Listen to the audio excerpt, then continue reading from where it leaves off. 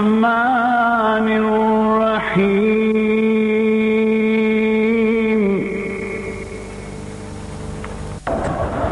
ساری جنت میں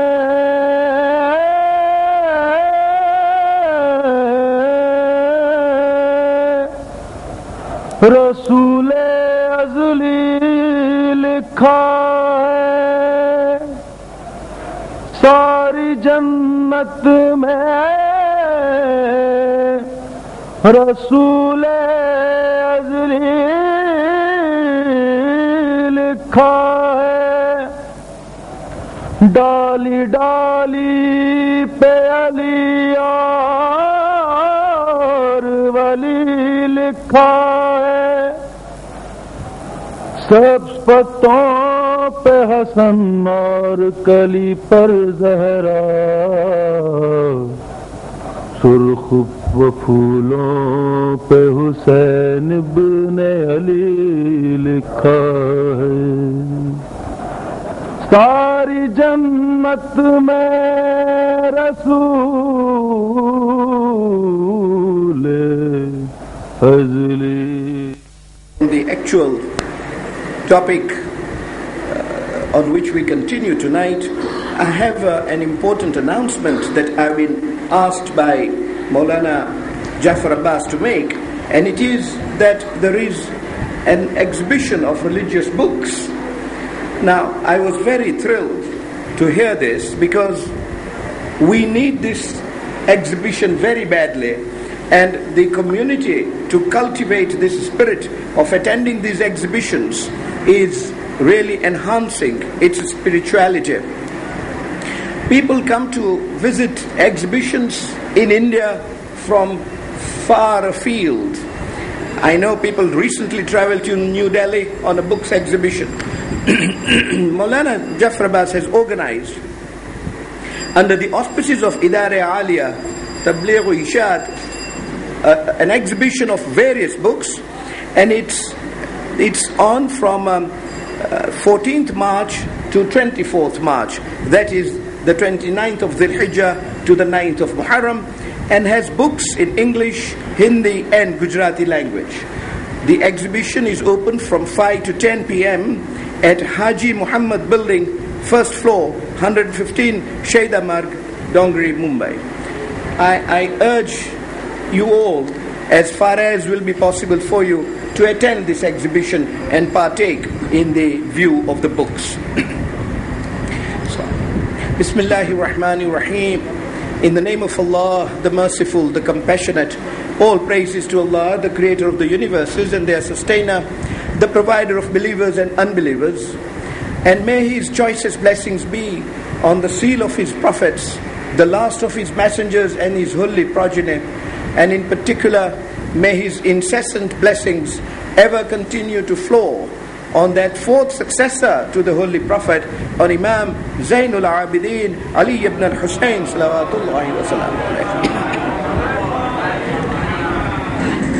Yesterday we took some time to consider the Makarimul Akhlaq of Imam Zainul Abidin alayhi salam. No pretense that we did it exhaustively, but at least we made a superficial study of some of his virtues so that we can learn from it, so that we can learn how to curb our anger, how to forgive each other, and how to be charitable to each other for a community in which anger is subdued, a community in which one brother is affectionate to another, and likewise among sisters, and a community in which one brother readily forgives another, and likewise with sisters, will inevitably result in the upliftment of that community. And that indeed is what the fourth Imam salam would wish to see of our community. But it would be a great injustice to him if he being called Zainul Abidin, the ornament of worshippers, we should fail to consider his worship that resulted in that title. On Thursday night, we considered how he came to be known as Sayyidul Abidin, and that that title came from heaven and it was delivered by the Holy Prophet himself.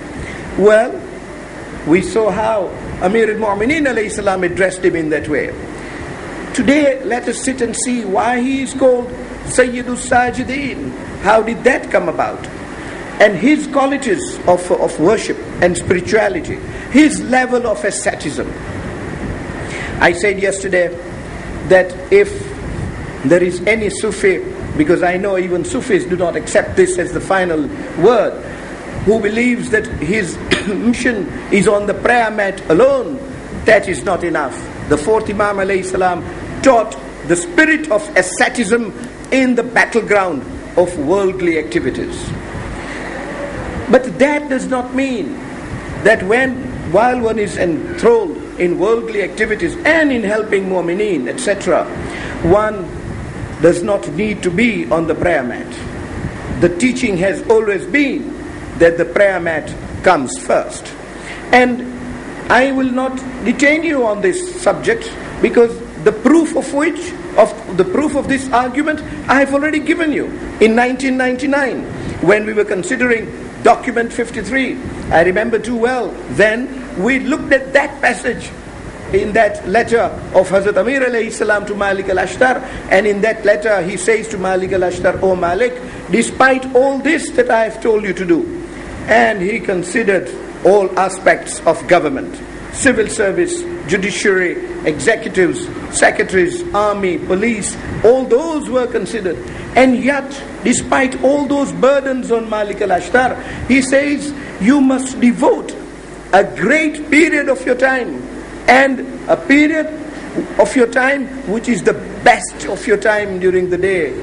You must devote that entirely to the worship of Allah subhanahu wa ta'ala. For then he says that uh, because, O Malik, although all these other activities have thawab in them, helping each other, curbing your anger, each has thawab, great thawab in it.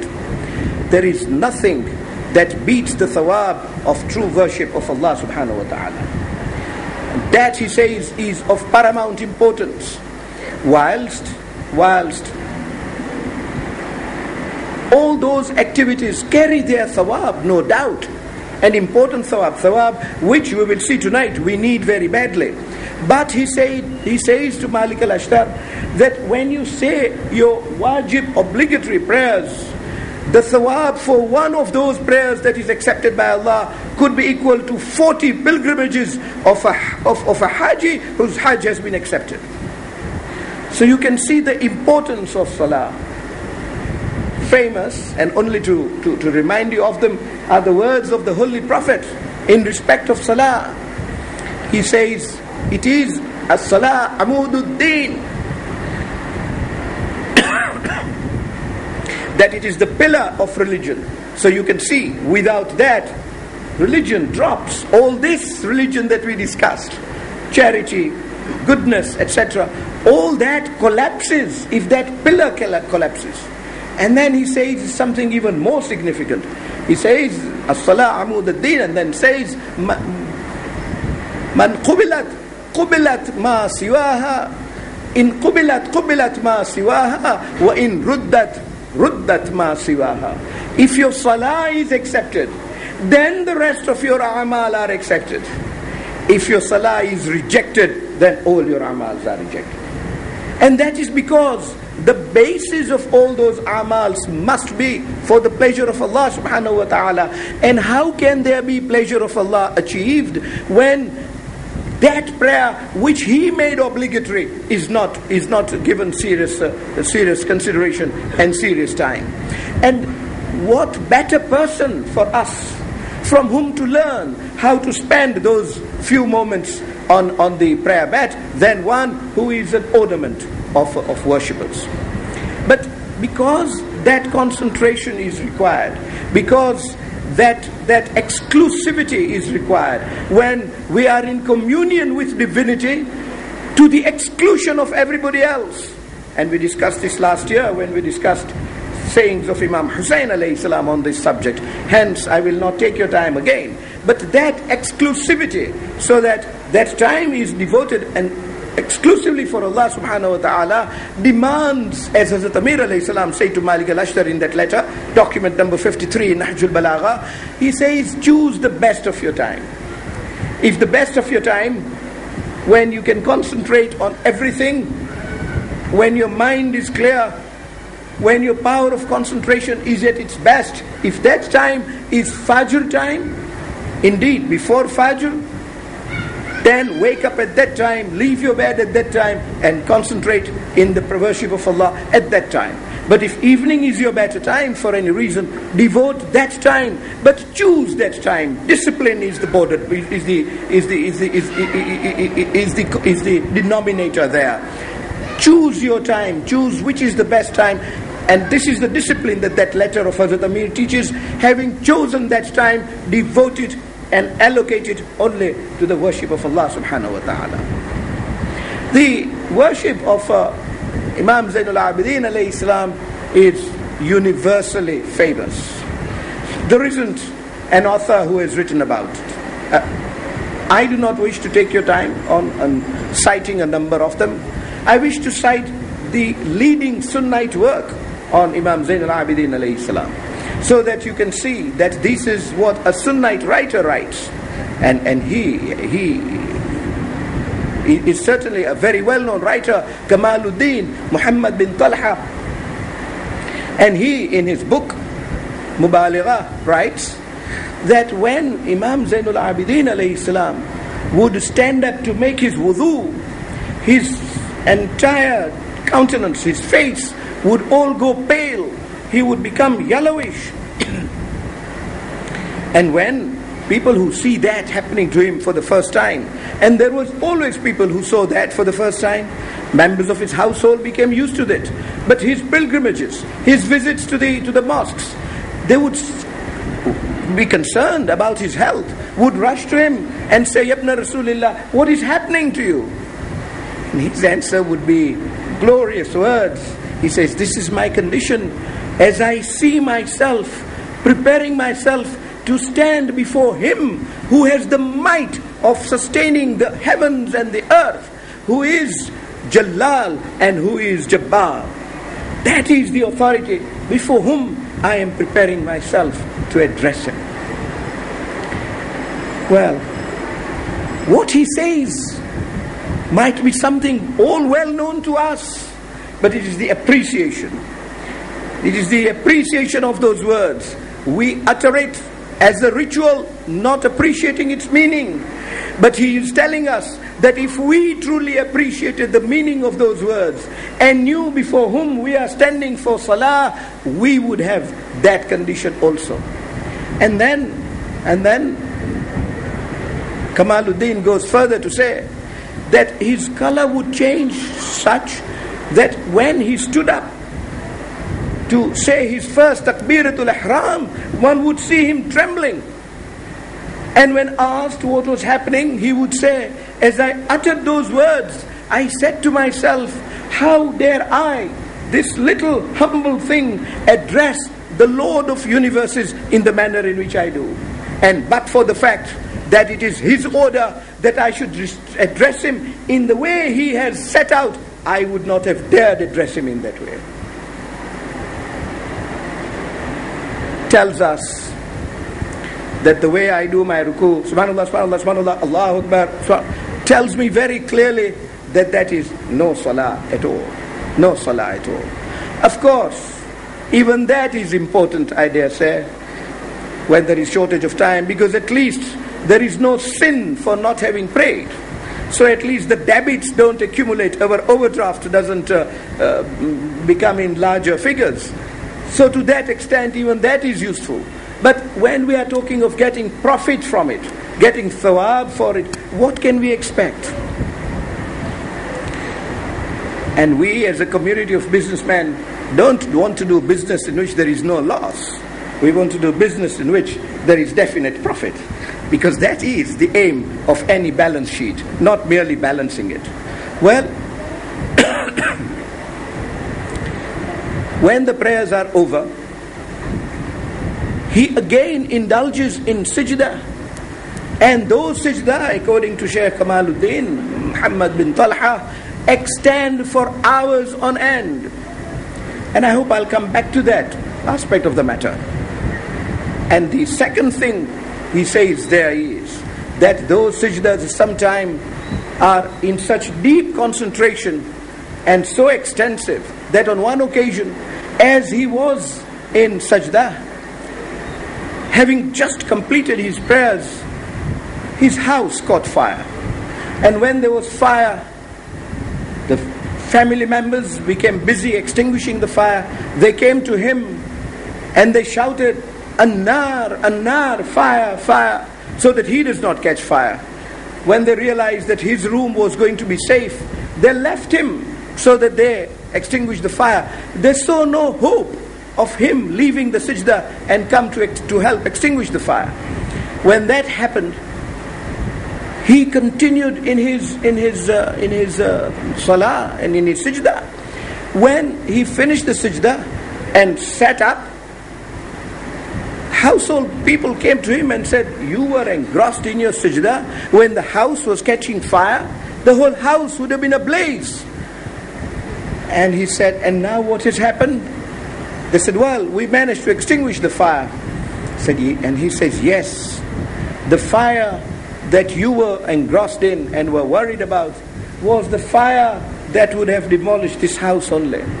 The fire that I was worried about in that sajda at that particular time was the fire of hell, the nar that I heard of. And as you kept saying nar, I said to myself that I am being reminded of the fire of hell.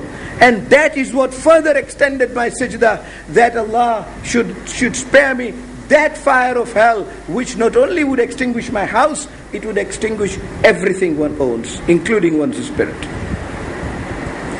But that was the mentality and personality of this person.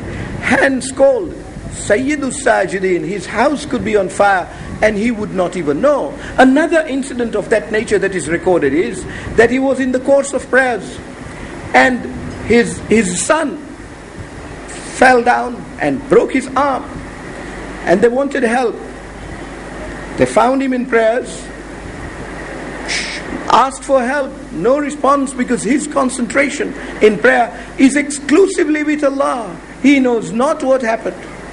And when the, and indeed this was at a dawn, and his sajda continued right up to the time when the sun had risen. So for hours he remained in prostration. We of course know this. We know this too well because on the eve of the 11th of Muharram in Karbala in 61 AH, after the tents were ablaze, Bibi Zainab salam reports that Sayyidul Sajjad went into sajda and remained in sajda until it was Fajr when he, when he got out of sajda so that he can say his Fajr prayers. That was him. And in the morning then he is told that the son's hand had broken, but then medical treatment was obtained for him. That is the concentration that he taught. But on one occasion, he was asked, and this is in um, the book of uh, Ibn Shahr Ashub, as related by the fifth Imam, Imam Muhammad Baqir, salawatullahi wa salamu alayhi.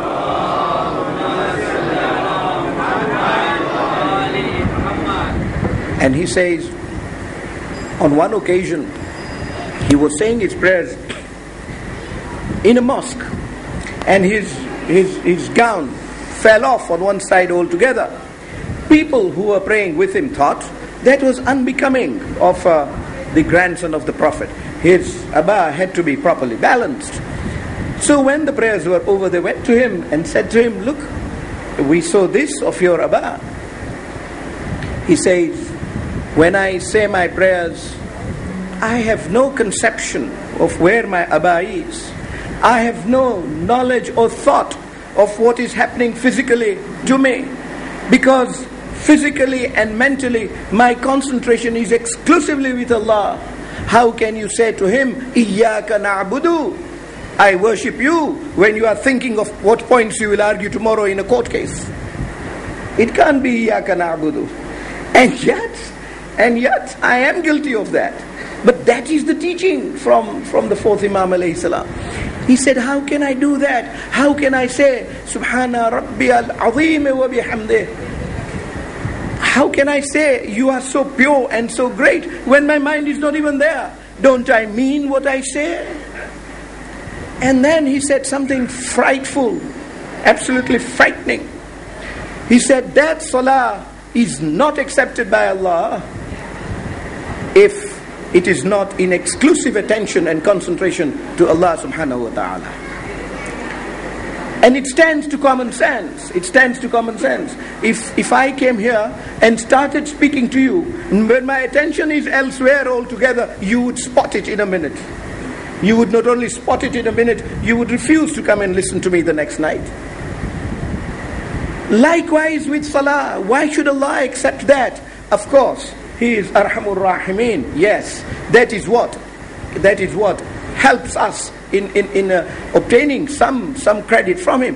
However, the fourth Imam salam says that is a condition for acceptance. Of course, sinning is different.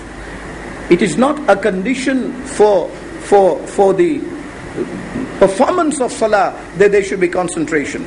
This is why you have the rules of, uh, of shakiyat namaz. If you have a doubt, obviously, if you have doubt means you are not concentrating. But those rules are made because it is not obligatory to, to concentrate. But that is one low standard. The standard of acceptance by Allah subhanahu wa ta'ala is a different level altogether. And he says that level is not attained, acceptance is not obtained. In other words, the pleasure of Allah is not obtained unless there is concentration. So the people around there say, Yabna Rasulullah, you have said things that frighten us. How, how do we pray then? Because we cannot pray the way you pray. All our, all our prayers in vain? And he says, no, they're not. They're not in vain. You are, there is provision for this. If you are not able to concentrate the way Salah needs concentration, the cure and remedy for it is nafila. Recite the sunnah, Salah also. The well-known nafilas that we, we, we, we inshallah recite. The eight rakat before Dhuhr, the eight rakat before Asr, the four rakat after Maghrib, the one rakat after Isha, and the 11 of the Tahajjud and two before Fajr.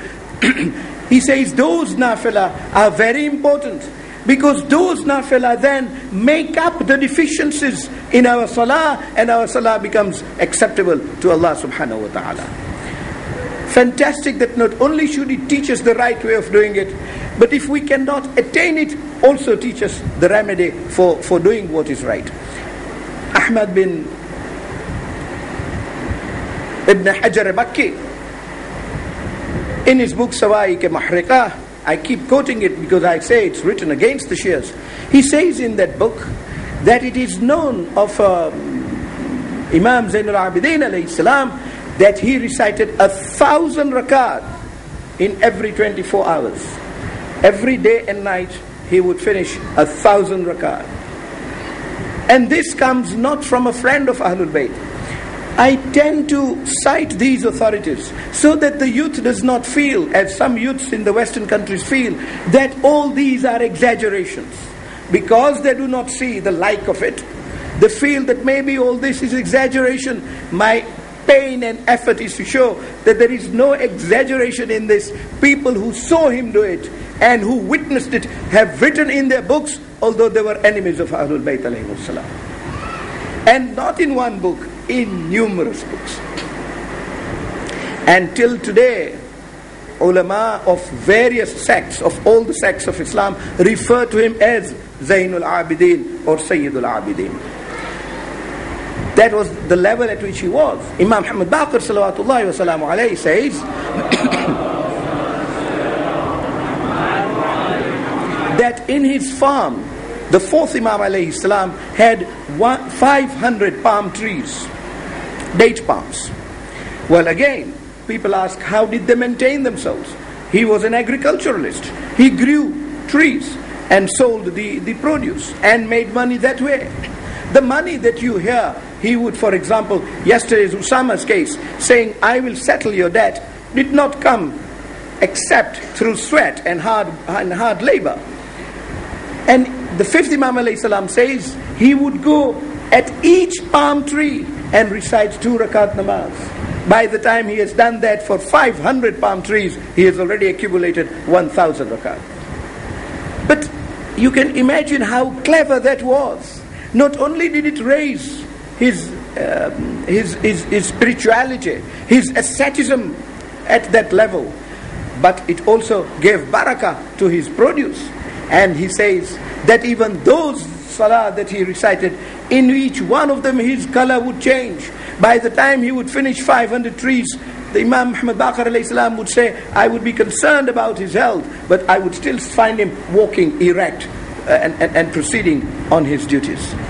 That is how he conducted his affairs. His color changing all the time, entirely out of the awe of Allah.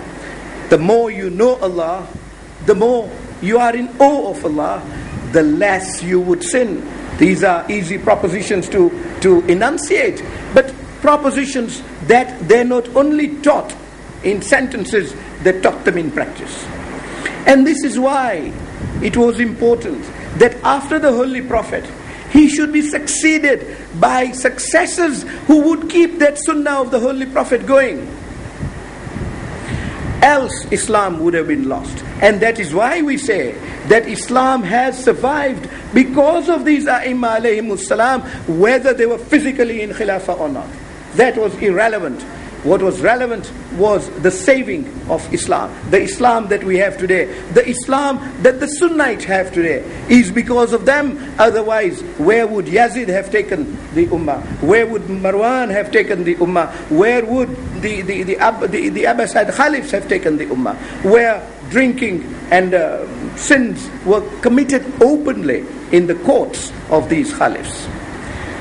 Well, Imam Zain al-Abidin alayhi taught that all this is not acceptable. There must be salah and it must be with such concentration that Allah would accept it. Indeed, his prostrations became so famous that he was known as Sajjad. It is said that the, the, the parts of the body affected by sajda, particularly the forehead and the knees, would swell to such an extent that they would become as hard as the knee of a camel. And twice a year, the skin from his knee would have to be cut so that the knee uh, maintains its balance. You can see the extent to which it caused him trouble and pain. Yet all that did not matter. What mattered was that he should make sajda.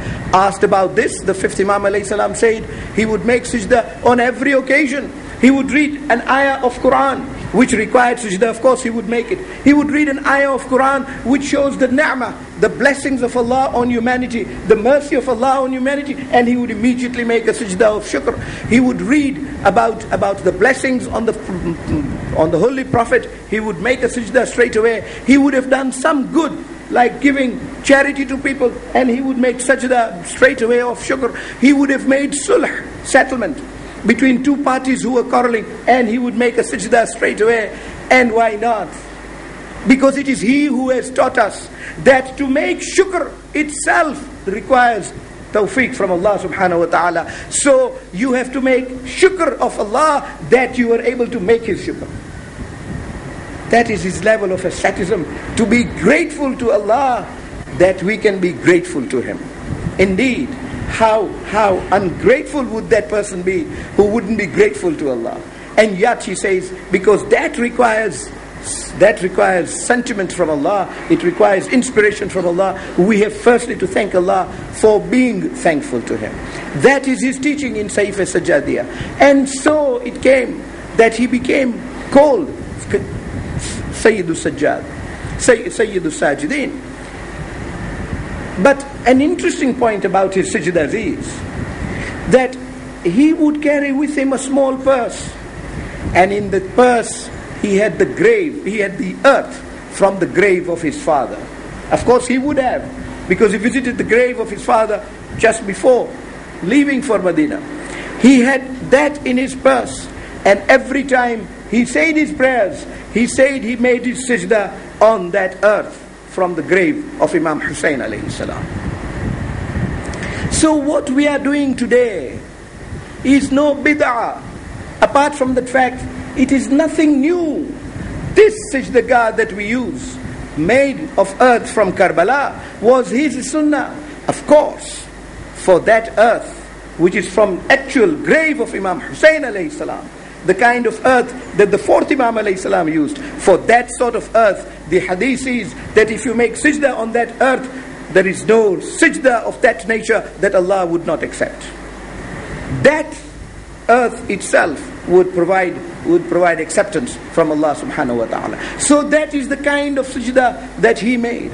In fact, his prostrations and his prayers went so far, so far, that members of his family were worried. Sheikh Abbas Qumi in Muntaha al-Amal sets out uh, an episode from Fatima, the daughter of Hazrat Amir al-Mu'mineen salam. According to Sheikh Mufid, Hazrat Amir's last daughter was called Fatima.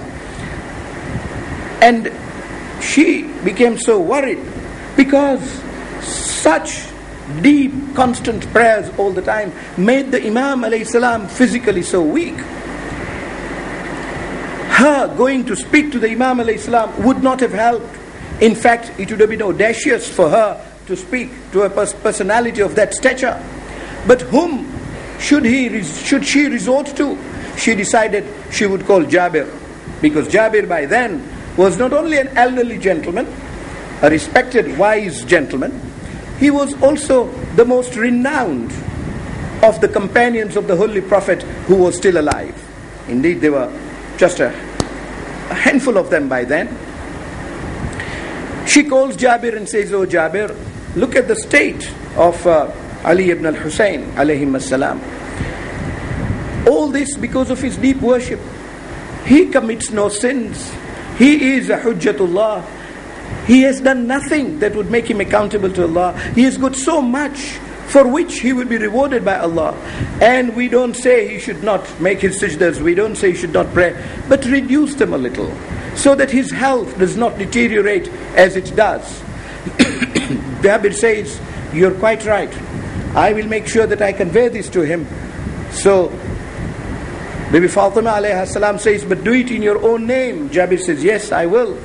And Jabir approaches Imam Zainul Abidin alayhi salam. An interesting piece of uh, uh, discussion, I thought. And Jabir sets out all this and says, you don't need all this, and Allah is merciful after all. He does not expect all this from you. And the reply that Imam Zain al-Abidin gives is so glorious. He says, O Jabir, you have seen my grandfather, the Holy Prophet himself. May peace be upon him and his progeny. And you saw how he worshipped Allah. And we know this because Quran kept saying to keep, kept saying to the Holy Prophet, Kumil kalila. Do certainly wake up at night. But for a short period, do not keep your prayers for as long as you do, because the prayers of the Holy Prophet, as is well known, would last the whole night. As we have seen, was the case with Imam Zain al-Abidin alayhi salam also. He cited that to Jabir and says to Jabir, I am supposed to be his successor. I am as answerable to Allah subhanahu wa ta'ala as the Holy Prophet was. And if anything short of that would have been alright for the Holy Prophet, then only would it be alright for me. So long as it was not good enough for him, and he prayed all night the way he did, it is incumbent upon me also to do likewise. I found this an interesting answer. But let me finish the episode before I come back to that discussion. So Jabir says, Yes, all that is correct. But Allah also asked him to reduce and he says, yes, but the Prophet continued in his, in his, in his lengthy prayers. And, and Jabir says, yes, that is true. But you've got to look after your health because the Muslims need you. A very common argument. We have said this to our, some of our leaders. The community needs you. If you go because of your ill health, who will look after this ummah? Who will give us all these teachings, lessons, etc.? We need them and we need you as a result he finishes the conversation, he winds it up by saying, Oh Jabir, let me live a life the way my ancestors lived, so that when I meet my Lord, I meet him the way they have met him. What more evidence do we need to prove that statement of the Holy Prophet in which he said, "Awaluna Muhammad, Awsatuna Muhammad, Akhiruna Muhammad, Kulluna Muhammad.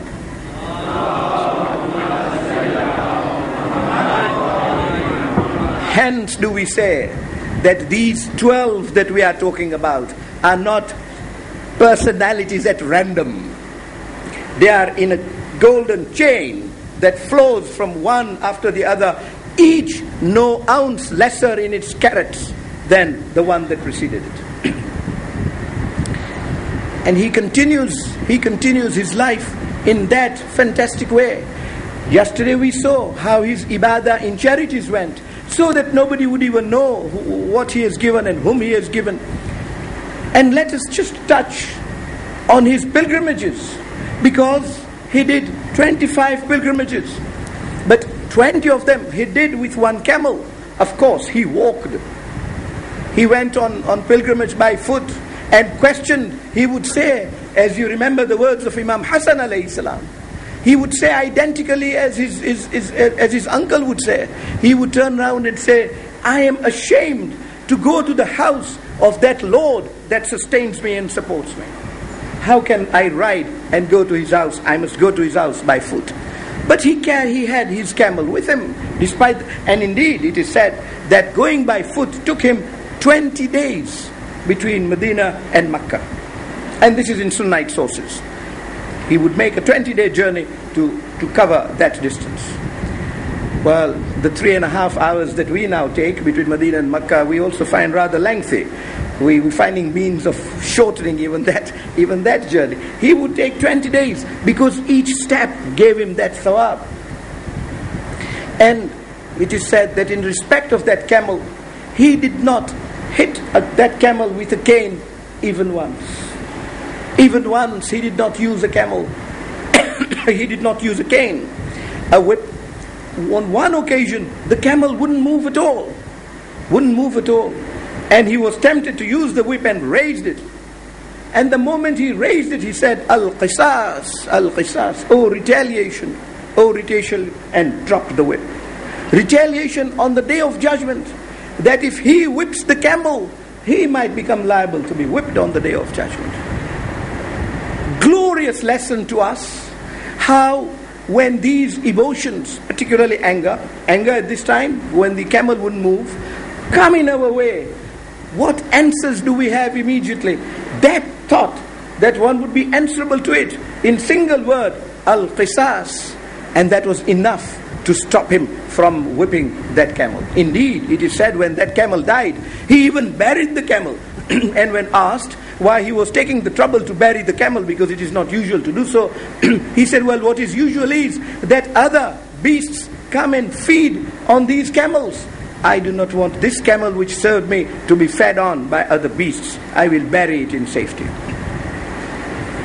That was his level of ibadah. And indeed, and this is written in all in all uh, Sunnite books as well as ours. When he would be ready to wear his ihram, and as you all know, he had to recite his talbiyah, his color would change. He would not be able even to recite the talbiyah. People would come to him and say, Yabna Rasulillah, we did not wear our ihram until you did. We cannot recite talbiyah until you have. And sobbingly he would turn to them and say, I am not able to say labbaik, Allahumma labbaik. They said, but you have just uttered those words. You can say them. He says, yes, I can say them to you. But I dare not say them to Allah subhanahu wa ta'ala, lest there should be a voice from divinity to say, La labbaik laka, la sa'daik. There is no labbaik for you, there is no sa'daik for you, there is no good fortune for you lest I be rejected. I say labbaik, if he rejected me, what of me? And having said that, he would become unconscious. Different groups with him every year, they would wait until he would gain consciousness. And with great difficulty would he ultimately recite the talbiyah and say, Labbaik, Allahumma labbaik, with cries, sobs, tears from his eyes, so that Allah may not reject him. That was the level of his asceticism, the level of his of his of his irfan, of his knowledge of Allah subhanahu wa ta'ala. And then when he is seen in Kaaba, when he is seen going round the Kaaba, he is seen going round like the most humblest of pilgrims going round that holy house. And he would be in his prayers, thanks to those narrators who have left some of those prayers for us, so that we can make use of them. And we too, Alhamdulillah, make use of those prayers when we go around. Beautiful prayers. Beautiful prayers at each place. When you start your tawaf, prayer taught by him. When you come to the door, prayer taught by him. And what a beautiful prayer. I was saying to myself, I will not indulge in these prayers because if we start discussing the prayers of Imam Sajjad alayhi salam, the nights will be over before the topics become over. But just this short one, when he moves at the door, he says, Sa'iluka bibabik, miskinuka bibabik. Here is your, your, your beggar on your, at your door. Your, your, your, your, your poor beggar at your door. Give him your Jannah. Give him your Jannah entirely as a, as, as, as, as a sadaqah. Purely as a sadaqah from you. And what a great thing for, him, for Allah to give someone heaven purely as a sadaqah. Prayer taught by him. One comes down to the to the Hijr Ismail. He turns round and the prayer is Najjini minan nar. Oh my sustainer, save me from the fire of hell. Indeed, a leading, uh, in, leading uh, Sunnite writer, Tawus Yamani, in his book, he wrote a book when he did a pilgrimage with uh, with uh, Sayyid, Sayyid, Sayyid, Sayyid al-Abidin. He wrote a book on it. And he says, one night I saw him performing his usual tawaf. At every turn, pleading to Allah subhanahu wa ta'ala. And then when the night became a little dark and majority of the people had left, there were just a handful of people left in the well of the Kaaba. I saw him enter the Hijr. I also followed him quietly in the Hijr. He touched the Kaaba and recited a dua. Then in Sajda, and that Sajda, of course, lasted till Fajr. So I wanted to hear what is this man saying in his in Sajda. Words that have become proverbial, indeed proverbial, which we use all the time. The words are Ubaiduka bifanaik, Miskinuka bifanaik, Faqiruka bifanaik. Here is a little creature, a little slave of yours who has come to your courtyard. Your beggar who has come to your courtyard. A poor man who has come to your courtyard. Tawusa Yamani says, and this is without recognizing him as a Hujjatullah. Tawusa Yamani says, I was so impressed by those words, they got so stuck in my mind that never did I have a haja when I did not call Allah in those words. And I recall no event when I, when I called, invoked Allah by those words and my haja was not fulfilled. And my haja was not fulfilled. You can see the barakah of these words. Hence do we tell the youths, don't forsake the Arabic words of the Imams salam. Of course read the translations. Of course know what they are saying. Because what is the point otherwise? Dua Kumail for example is beautiful of full of these lofty, lofty words, each having become proverbial because of the way in which those passages are, are prepared. But kept in their context and in the balance of their expressions they carry great communication asceticism to reach them to Allah subhanahu wa ta'ala. This is how he performed his, his, his Hajj. And indeed, one can see that in each of these ibadat, there is that root depth of pleasure of Allah to be attained at all stages. I move on to start on the political acumen of uh, Sayyid, Sayyid, Sajidin today because I fear tomorrow we may not be able to complete them all. I know I'm cutting short our discussions on his ibadat, but never did I dream that I would be able to give uh, an exhaustive treatment to his, his ibadat. I don't see any leave alone me, any scholar being able to do it in, in, in a sitting or so. But moving on to his, uh, to his uh, political acumen, I'd like to put his political life in one sentence. And it is this that his political mission was to continue the mission of his father, Imam Hussein. And what wonder, what wonder, we keep doing this all the time. To give you one example, which is homely, when Gandhi was assassinated in this country, what did the, the survivors say? That Mahatma, we will continue your mission. Whenever a leader of a country is martyred for his cause, the successors immediately say, that cause is dear to us and we will continue the cause after you. Imam Zainul Abidin did no less than that. But the fantastic thing about him, of course, was that that mission started the very day after Ashura. He didn't leave one day unattended to that cause. And it was an important cause. Well, I wish to embark on that this evening straight away, so that tomorrow I deal with five wars, five battles that he witnessed. The, the Battle of Hurra, which I touched on last night, when Marwan had to run away from Medina.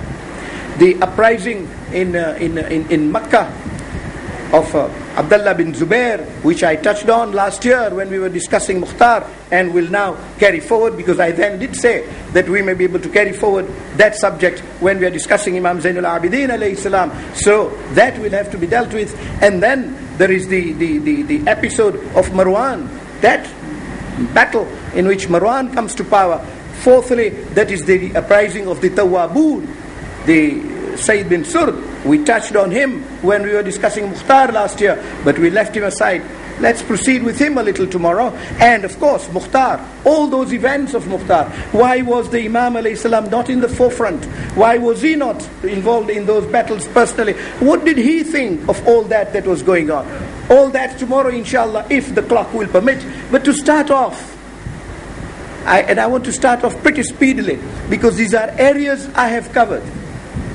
The first, the first speech he makes after Karbala was in the bazaar of Kufa. It is fantastic. It's a, it's, it's a speech which was impromptu.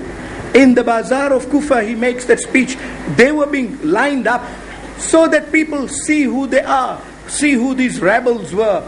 The son of Hussein who wanted to rebel against Yazid. And to be paraded like prisoners of war.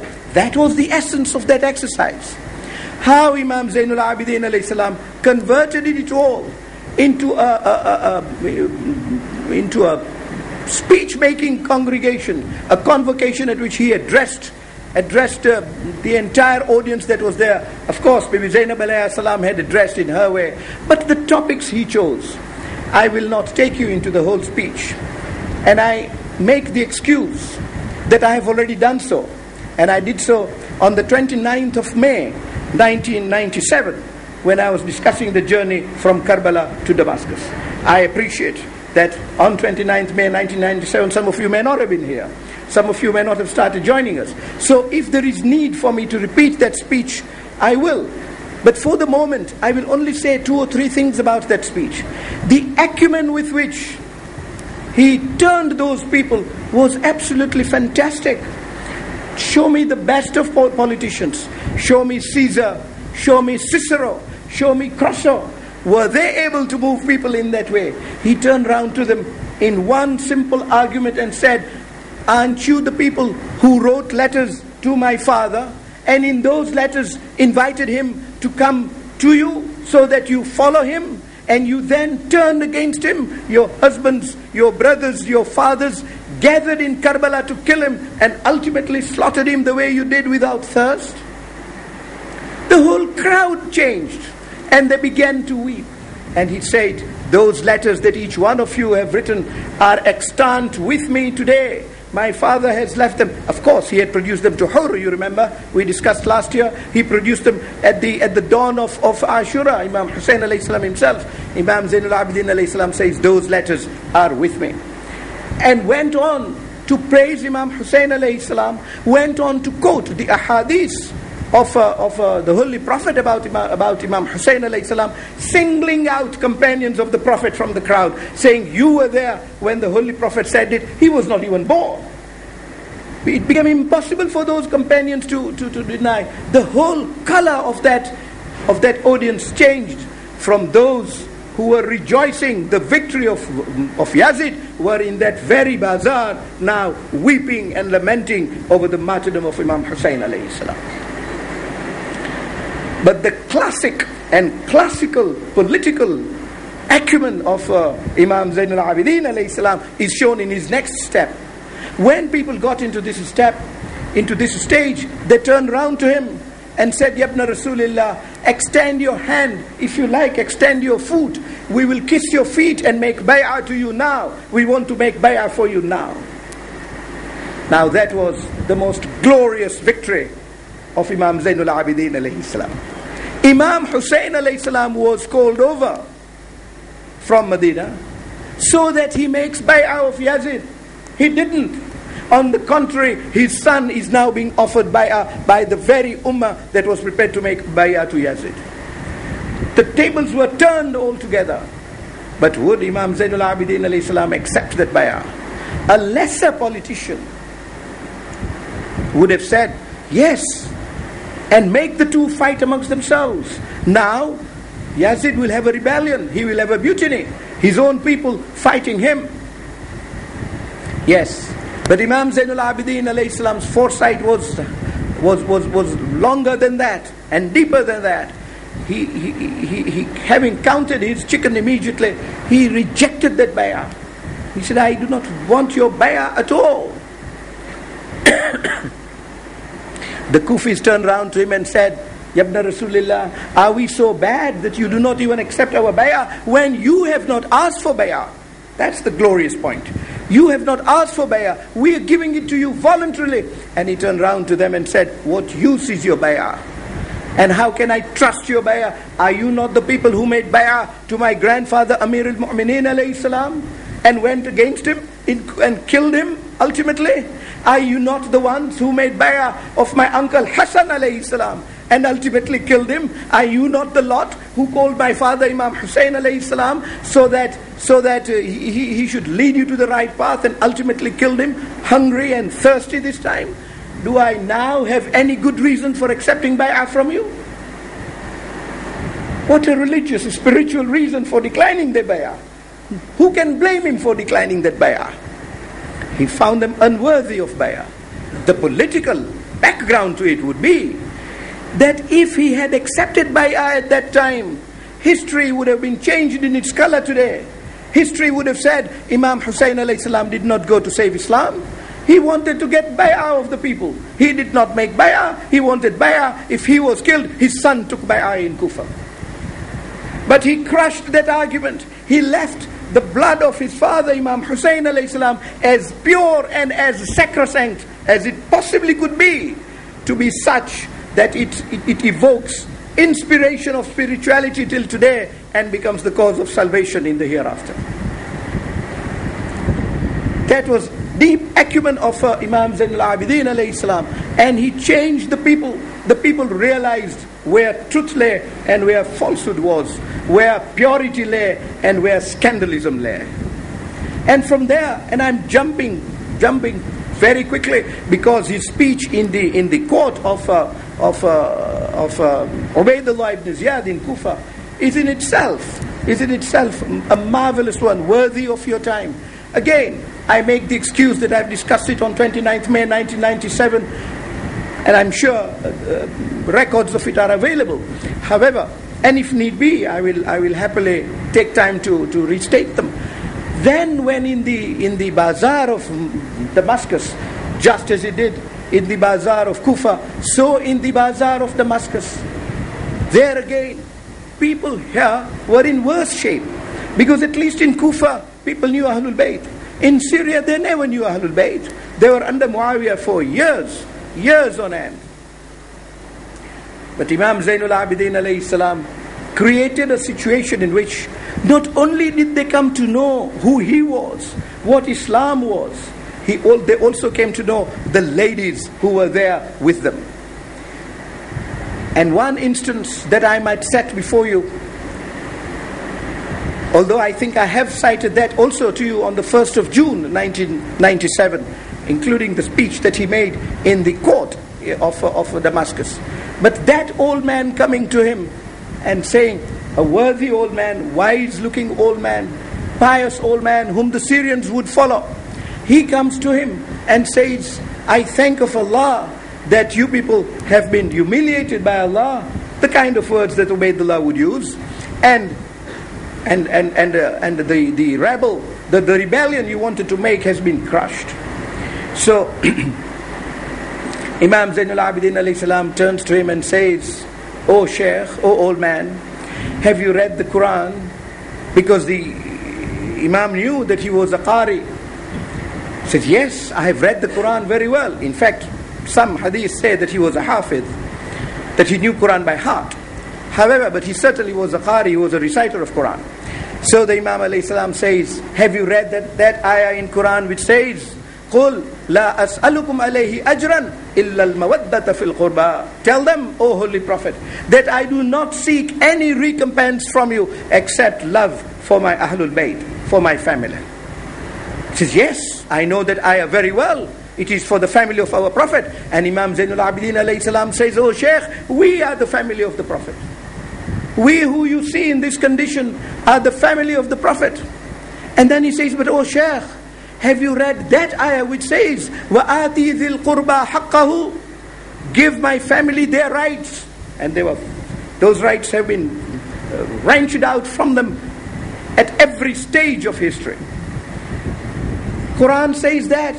So he says, is this how you give us our rights? When Quran says, وَآتِ ذِي الْقُرْبَى حَقَّهُ and the old man still doesn't believe and says, So you are Ahlul Bayt?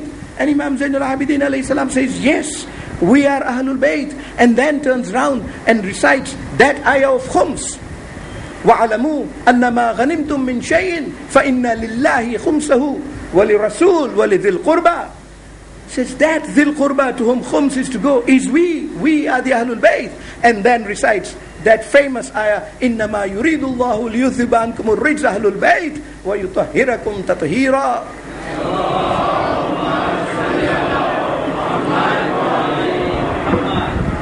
And when he declares the purity of Ahlul Bayt, he turns round to him and says, Oh old man, you want to know who Ahlul Bayt is? Look at that head there. That is the head of Hussein ibn Ali alayhi salam.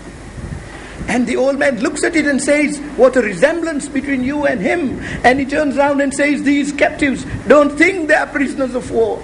They are my family. There is Zainab in it, the daughter of Ali ibn Abi Talib. There is Kulthum in it, the daughter of, of, of, of Ali ibn Abi Talib. Mentions Sukaina and says, This is a four, four year daughter of Hussein ibn Ali. Is this the way they are taken? And you know too well we have discussed this, the, the last part. He immediately says, Give me permission that I also die in the path of your father. Takes a sword from one of the soldiers there, starts to make a battle, but he is immediately killed. All that Imam Zainul Abidin alayhi salam says, Oh Shaykh, may Allah have mercy on you. My father went on the body of each of his companions when they fell. You fall here for him. I am in chains. I'm not able to come down and come to your body. Allah will have mercy on you. My grandfather will accept you. Indeed, Imam Zainul Abidin alayhi salam, with what magnanimity introduced Ahlul Bayt to them. It was the 28th of Rajab when that kafila left for, for, uh, for, uh, for Makkah and when they left for Medina, with what dignity they left.